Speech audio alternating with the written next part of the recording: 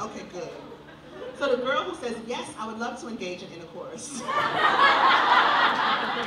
gets called a hoe, right? She's the loose girl. She's the, but that really is what enthusiastic consent Yes, is. we are here for enthusiasm out here in these streets.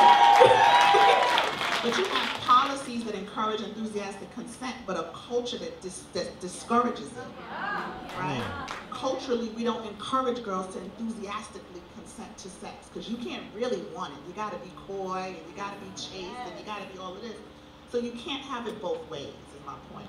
These all these these like cultural things that have to shift dramatically in order for us to move the needle around the violence because the violence is right up under the surface on all of this. It's right up under the surface. If we don't get some of this right, the, the next step from there is violence.